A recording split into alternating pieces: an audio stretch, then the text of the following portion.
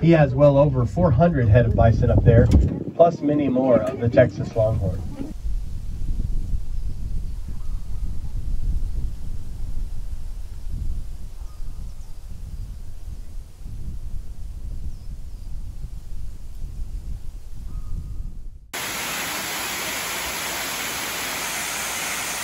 Hey guys, Cole here from Cross Timbers Bison filling in for Dusty today. And we are not in Oklahoma, we are actually in Lampe, Missouri at Dogwood Canyon. And they've got about 2,000 acres of pretty cool park here with some uh, water mills and some waterfalls and canyons, lots of cool stuff. They've even got some elk, some Texas Longhorns, and yes, a large bison herd. So Johnny Morris, owner of Bass Pro Shop, set up this place about 20 years ago come check it out with us. You guys are gonna enjoy it. They've even got a little surprise of a white buffalo, so stay tuned.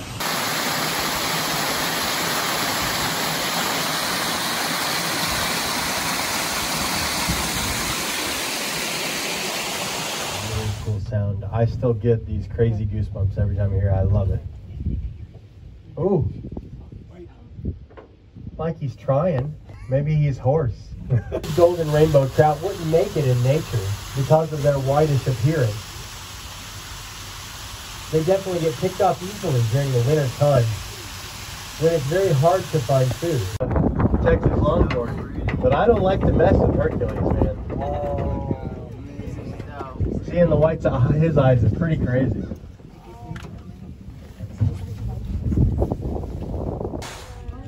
You're doing a really good stretch for us today. Little ear scratch going on.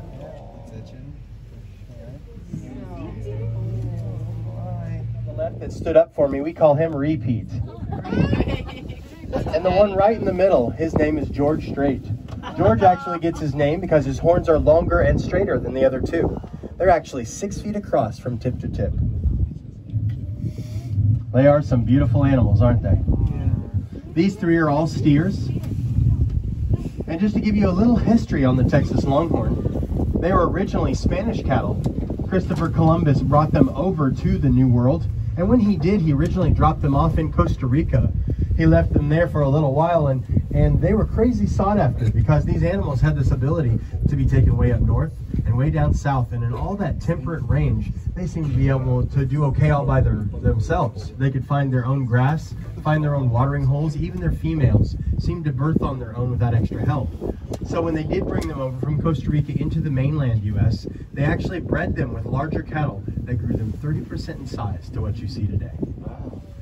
They are some big boys. That's why I'm always trying to get a stand up on them. So we just get an idea. Oh, there we get to see George with those long horns.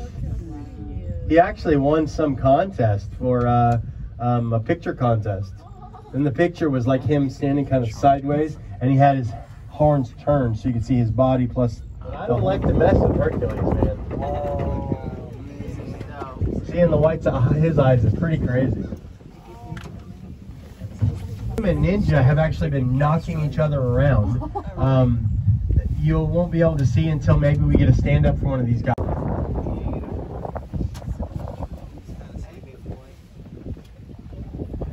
People checking out elk the first time they get to see them might assume that their anatomy is a lot like that of a deer, but it's actually closer to that of cattle.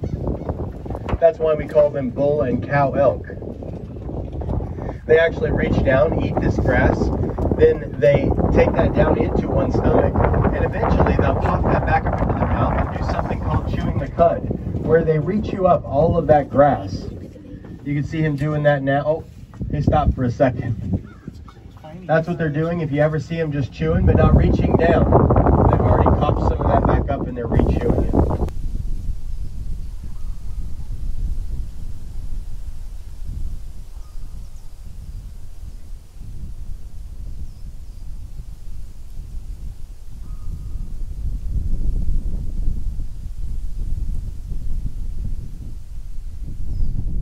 Yeah, he is definitely very beautiful. I might try that trick on everybody else, but I'm not that stupid. But they are very beautiful. We even have a little baby here in front. Dakota actually won a couple Guinness Book World Records. He won the record for uh, the most tweeted photo and for the most liked post on Facebook. He has well over 400 head of bison up there, plus many more of the Texas Longhorn. Up there he has bulls and cows, heifers, and even baby longhorn. As I peel around the back, I'm going to give a pause because I definitely want to give y'all a good picture of Ninja. He is a big boy. These animals are about 1,400 to 2,000 pounds. Uh, but he bought one that went here, and the other guy actually went up to his nature golf course, which actually brings me to a very important fact. These guys, uh, I gotta stop saying these guys. Uh, the bison are crazy uh, athletic. They can run 35 to 40 miles an hour faster than a horse, and at a full run, they can actually jump five to six feet up in the air.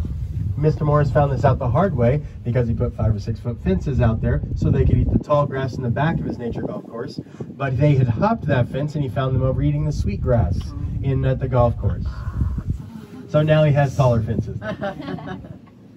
They've only been growing since March and they actually haven't grown at all in two and a half months. It's the fastest growing bone of any land mammal that grows at a speed of two inches a week at its fastest growing point. This is a very small one. You see my fingers very easily reach around it. We have some in the back of our vehicles that I can't get my hands around. Under the velveteen, they have this stuff that goes over them that looks a lot like their fur and it's a second skin and that helps them grow this quickly. It stretches as their antlers grow and allows them to put all those nutrients right into this. They're made of pure calcium, just barely smaller than Hercules. In fact, if you see him standing sometimes, it looks like Ninja's bigger, but he's just younger, that's all. The difference between the two animals is really only about 70 to 100 pounds. As we're coming around and checking out the cow herd, you might see some of these younger males here over on the left. There's four of them. They have the spikes on their head. Those spikes are what you'll see on a one-year-old. Their first year, that's all they grow, and then they'll fall off. They're part of the cow herd, along with these other ones you see right above them that have just very minuscule antlers. They're about one and a half to two year olds. They're very confused at the rut season right now because they're used to being part of this cow herd. But as soon as Junior walks out of there and they're back to being normal, most likely all of that group will go back into the cow herd.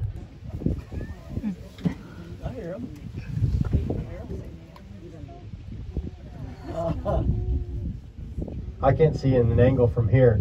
Is there any undulating under him? Well, a lot of times he does both at the same time. So he's going to bugle while he's spraying all over himself.